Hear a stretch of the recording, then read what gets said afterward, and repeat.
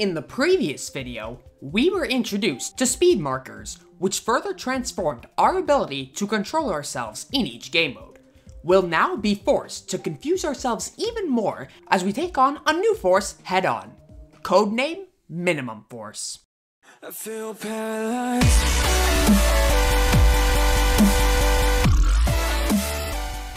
We begin by input carrying so that we jump onto this platform and bounce off this jump orb.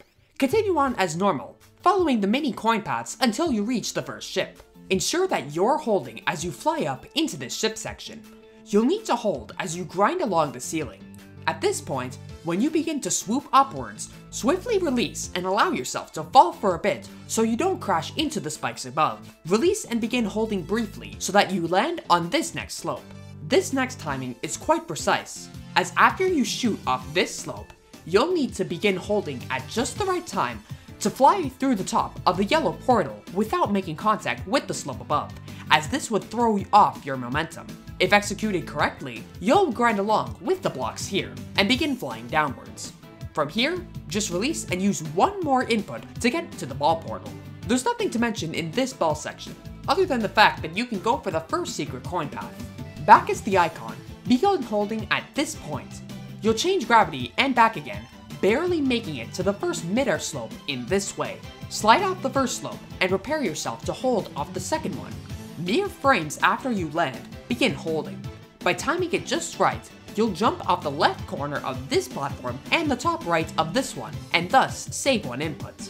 This brings us to 29 inputs as we head into the very first dual section.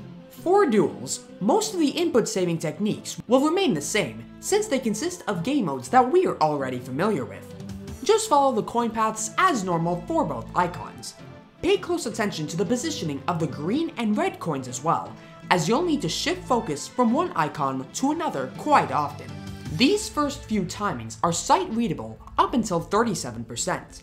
Here, you'll aim to tap as late as possible off the first pink orb and hold off the last pink orb at the latest possible point as well. By doing so, an unexpected phenomenon occurs. Essentially, you change gravity twice, maximizing your airtime, and thus this allows you to save inputs. This likely occurs because we interact with the portal's hitboxes at the earliest possible point, which causes us to also interact with them once more at their latest possible points. We can continue holding off these portals so that we jump once more. Continue on as normal, following the paths precisely. Overall, this section takes practice to master and can't be learned by explanation alone. When you transition into the dual ship, you don't have to input all that often, as you can heavily utilize the slopes at many points in this section. Hold as you reach the first slope and continue holding until the ship starts to fly up into the spikes. Releasing at the right time here gives you the distance that you'll need to begin your next input. Hold at this point so that your ascension path gets altered when you interact with the slopes. For some reason, the ships sort of stick onto the slope for a brief moment while holding. This allows you to maximize your distance before you fly up once more. Land on this platform here and you'll glide nicely into the next section with 38 inputs in tow. After using one input to jump over this pillar to the orb chain that awaits you, we now enter a world of pain. You can complete most of the chain as normal, except for some key points towards the end. This is because it is actually possible to jump up the tips of these jagged slopes. That means you'll have to position your previous orb timings as precise as possible so that you can hold off some orbs to jump off these tips. Oh, and that's not all.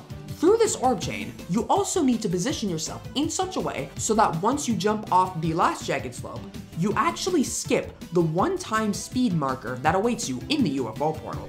After verifying that this speed change skip is indeed possible in the main level, we can now proceed with saving some inputs since we now stay at 2 times speed. Time your flaps as carefully as possible, as your last input just barely allows you to enter the dual ball portal unscathed. Once we reach the dual ball, proceed as normal, but use only one input for this ball below.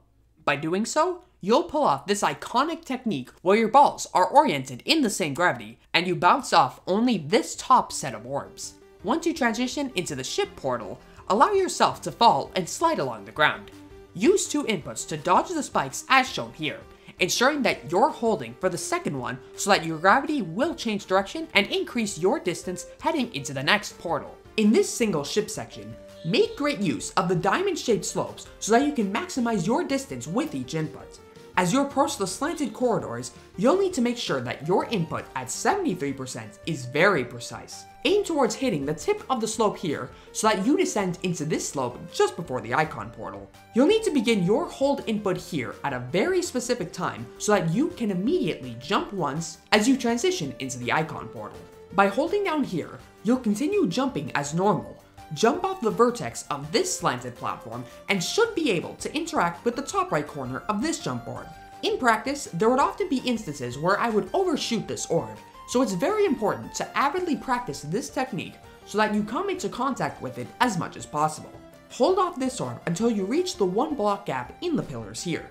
Drop down off this next pillar and begin holding immediately as you're in the air before you land. By doing so, you can keep holding off this jump pad and jump off the tip of this midair slope. For this next sequence of orbs, space them out so that you fall towards this yellow orb on the top right side.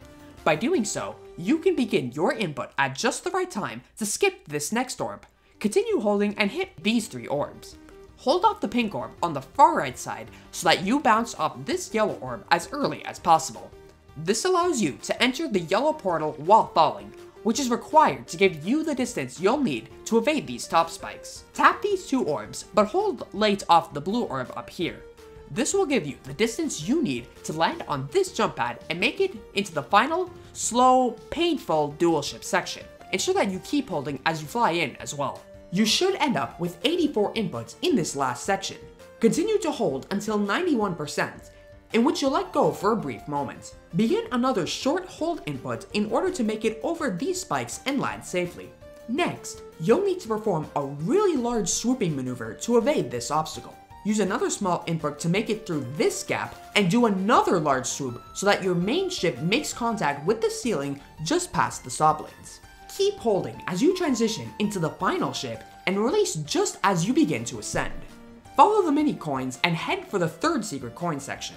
You'll be able to rest for a moment. You'll then want to hold one last time to evade this deceiving bottom block so that you hit your head on the ceiling here, fly up but not too much, release into safety, and achieve victory.